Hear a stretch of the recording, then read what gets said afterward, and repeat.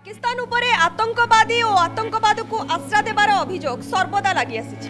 এই অভিযোগর দাগ সহ যেবে পাকিস্তান প্রধানমন্ত্রী ইমরান খান আমেরিকায় পৌঁছিলে তাঁকু অনেক অপমান এবং অসম্মানর সামনা করা পড়েছিল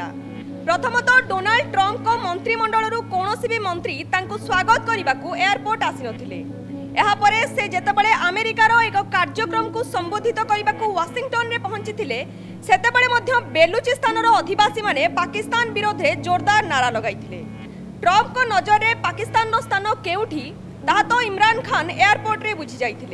আউ যা বি বুঝবা বাকি রয়েছে তাহা বেলুচিস্তানর সমর্থক মানে পাকিস্তান বিরুদ্ধে নারাবাজি করে বুঝাই দিয়েছিল যদি আপনার ওয়াশিংটনে দিয়া যাই ইমরান খানকর পুরা ভাষণ শুণবে তাহলে জাঁপারে যে সে কেবল বিরোধী দল বিপক্ষে ভাষণ দেওয়া আমেরিকা যাই এই বিশ্বাস জন্মাইবাকু যাইলে যে তাঙ্ক দল উপর হি কেবল ভরসা করা যিবা উচিত কারণ তাঙ্ক দল হি হেউচি একমাত্র দক্ষ দল যিয়ে পুরা আবামরে পরিবর্তন আনিবারে সক্ষম ଏହାସହ ସେ କ୍ରିକେଟ୍ ବାବଦରେ ସଭାରେ ଭାଷଣ ଦେଇଥିବା ବେଳେ ଆତଙ୍କବାଦ ପ୍ରସଙ୍ଗକୁ ସମ୍ପୂର୍ଣ୍ଣ ଭାବରେ ଅଣଦେଖା କରିଥିଲେ